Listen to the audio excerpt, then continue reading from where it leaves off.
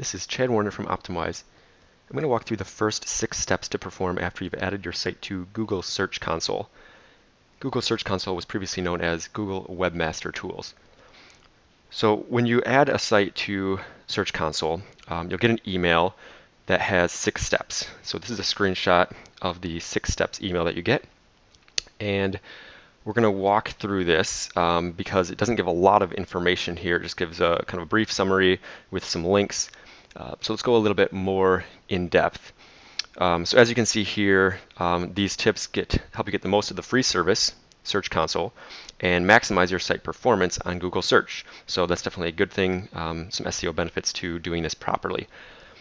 So the first step here is adding all of your website versions.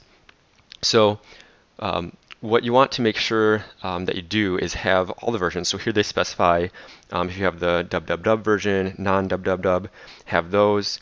Um, also, if you have um, an HTTPS version of your site, you want to make sure that those are added. So you could have up to four different versions. Uh, you could have HTTP, HTTP www, uh, HTTPS, and HTTPS www. So you want to make sure that you have all of those added. Um, the way that that works is when you're in um, Search Console, you just go to add a property and you would enter the URL. So here you would just make sure um, that you're entering it properly uh, with either HTTP or HTTPS and then either the www or not. Um, and so that's the way that you would walk through that. So basically the same way that you added your site the first time, um, just adding the different versions of it.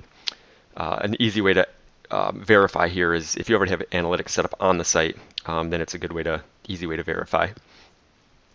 So the next item here is um, selecting your preferred version. Um, so controlling how the site appears, whether you have www or not.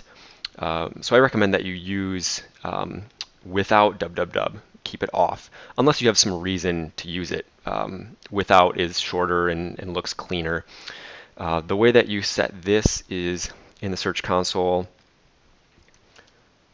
find your site, and go to click, this uh, gear icon here, and then go to your site settings, and you'll see a preferred domain, and you can select either with or without the www. Uh, when you set this, it applies to all of the versions, so you don't need to go in and um, set this separately. So here's my www version, and if I were to look at that, it's set the same way. So if you set it in one version, then it will apply to the others. So that's how that works. Step three is a target country. Set your geographic preference if your site targets users in a specific country. Um, so for example, if your site's in the US and um, your US business serving US customers, then it makes sense to select the United States.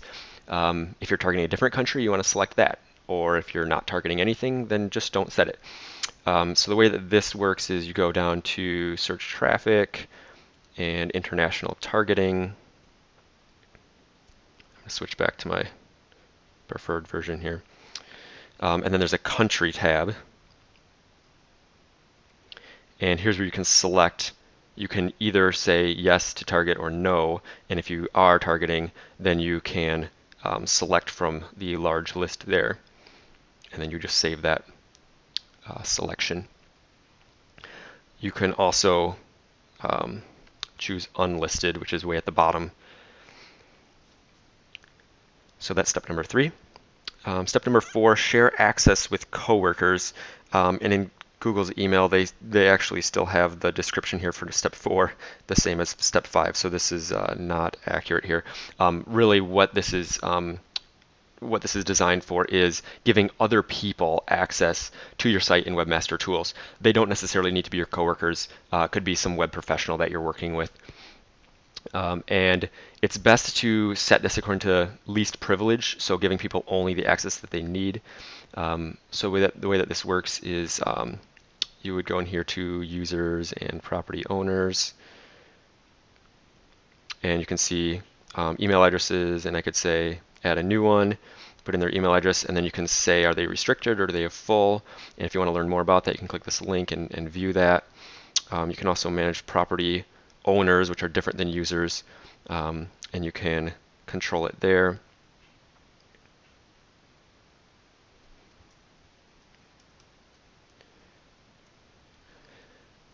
So that would be step four, sharing access with coworkers. Um, step five is submitting a sitemap file um, helping Google understand how to crawl your site.